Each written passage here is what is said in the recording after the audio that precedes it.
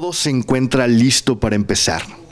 Las sillas, las pantallas, el podio para los regidores, la banda de guerra, la banda Santa Cecilia e incluso Doña Chonita, que muchas veces fue a pedir apoyo a la presidencia y según ella nunca encontró al alcalde.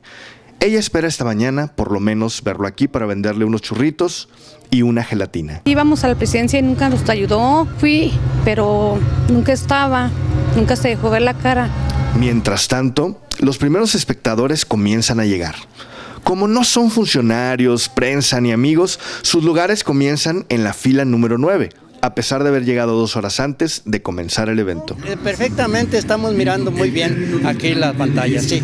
De pronto y de manera espontánea, el pueblo se desbordó en el lugar, ayudados por uno que otro camión de ruta, por supuesto. Preguntarle de dónde vienen.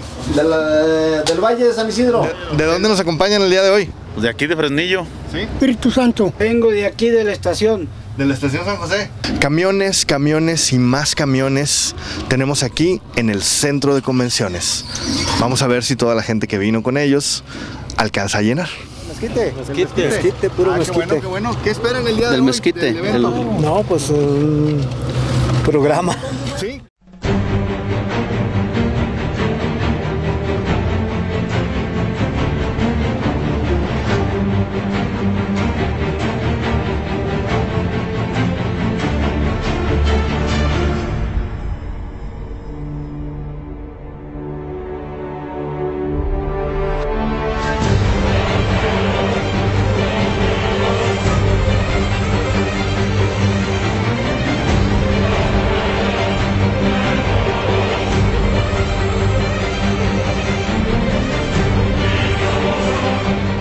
Ya llegó el alcalde.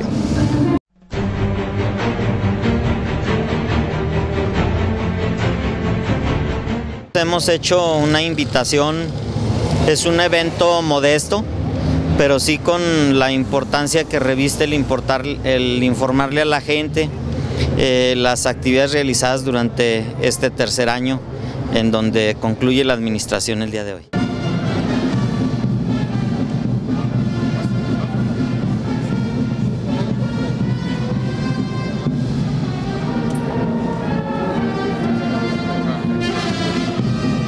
A pesar de la algarabía, de la marcha de Zacatecas y de la llegada del alcalde, el recinto aún luce muy, muy vacío.